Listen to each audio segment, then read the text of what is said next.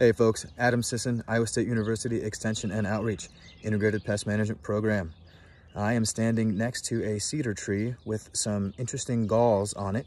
These galls are part of a disease called cedar apple rust, requires both a cedar tree and an apple tree.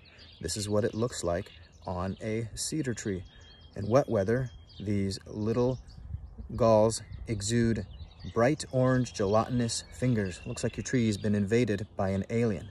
For information on this disease and how to manage it, do an online search for cedar apple rust, Iowa State University Extension. See ya.